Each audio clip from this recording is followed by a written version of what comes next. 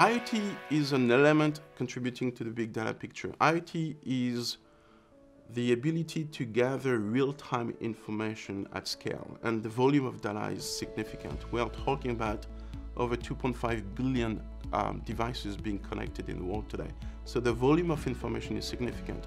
What the big data layer allows you to do is to take this real-time information, correlate it with um, other kind of information that you're storing as a company about your customers, about your suppliers, about your products, or even third-party information. It could be weather information, it could be uh, you know, product quality information you get on social media, whatever it is. Combining these set of information, at-rest information that you own or get from third party, and real-time information coming from your operations is where the value comes together.